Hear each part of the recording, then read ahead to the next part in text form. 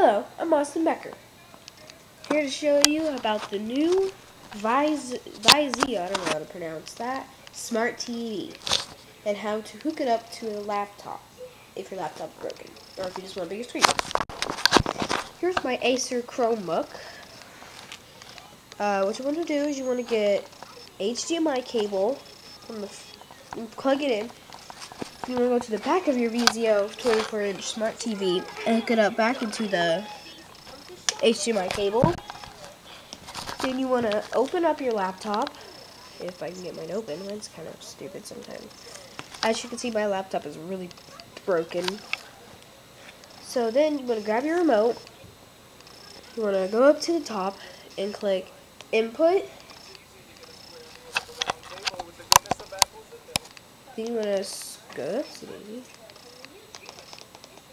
Present HDMI. There you go. Worked.